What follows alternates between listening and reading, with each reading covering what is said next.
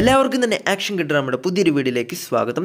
പ്രിയദർശന്റെ സംവിധാനത്തിൽ നമ്മുടെ ലാലേട്ടന്റെ കരിയറിലെ തന്നെ ബിഗ് ബഡ്ജറ്റ് സിനിമയാണ് മരയ്ക്കാർ അറബിക്കടലിന്റെ സിംഹം എന്ന സിനിമ നമ്മുടെ ഇൻഡസ്ട്രിയിലെ മറ്റൊരു നൂറ് കോടി ഇരുന്നൂറ് കോടി മുന്നൂറ് കോടി അല്ലെങ്കിൽ സിനിമയാകാൻ പോവുകയാണ്. പ്ലോട്ടും തന്നെ സമയം കളയുന്നില്ല. സിനിമയുടെ ആദ്യ റിവ്യൂസ് ആണ് നോക്കാൻ പോകുന്നത്. പ്രിയദർശന്റെ സംവിധാനത്തിൽ നമ്മുടെ മോളിവുഡ് ഇൻഡസ്ട്രിയിലെ നൂറ് കോടി രൂപ ബഡ്ജറ്റുള്ള അല്ലെങ്കിൽ വമ്പൻ ബഡ്ജറ്റുള്ള സിനിമയാണ് മരക്കാർ എന്ന സിനിമ സിനിമ ഇപ്പോൾ ഇന്ന് രാത്രി അർദ്ധരാത്രിയോടായിരുന്നു റിലീസ് ചെയ്തിട്ടുണ്ടായിരുന്നത്.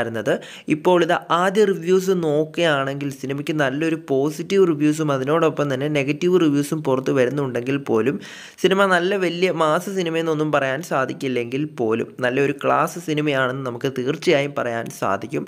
അതുതന്നെയാണ് സിനിമയുടെ സംവിധായകനും നേരത്തെ തന്നെ പറഞ്ഞിട്ടുണ്ടായിരുന്നത്. ഒരു ചരിത്രകഥയെ ബേസ് ചെയ്തുള്ള സിനിമ ആയതുകൊണ്ടായിരിക്കണം സിനിമയുടെ ഫസ്റ്റ് ഹാഫിനെ പറ്റി പറയുകയാണെങ്കിൽ ആദ്യം നാൽപ്പത് മിനിറ്റ് ചെറിയൊരു ലാഗ് അനുഭവപ്പെട്ടായിരുന്നു.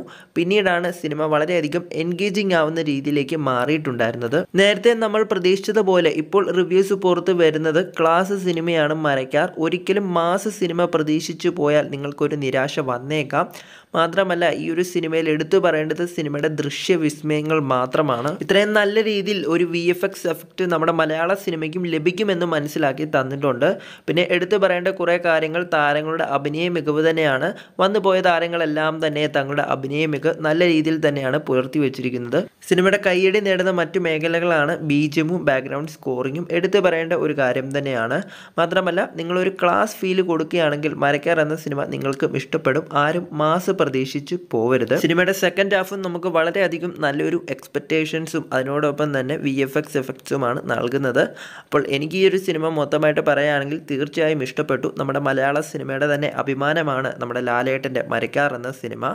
സിനിമ ഇന്നേ ദിവസം തന്നെ ഏകദേശം നാലായിരം സ്ക്രീനുകളാണ് ലോകമെമ്പാടും റിലീസ് ചെയ്യാൻ പോകുന്നത്. പതിനാറായിരം ഷോകളാണ് ഇന്നൊരു ദിവസം തന്നെ കളിക്കാൻ പോകുന്നത്. അപ്പോൾ കാത്തിരിക്കാം മരക്കാർ എന്ന സിനിമയുടെ നൂറ് കോടി ക്ലബിൽ വാർത്തയ്ക്ക് വേണ്ടി. സിനിമ കണ്ടിട്ടുള്ളവരാണ് ഈ ഒരു വീഡിയോ കാണുന്നതെങ്കിൽ നിങ്ങളുടെ അഭിപ്രായം എന്താണെന്ന് തീർച്ചയായും കമന്റായി രേഖപ്പെടുത്തുക.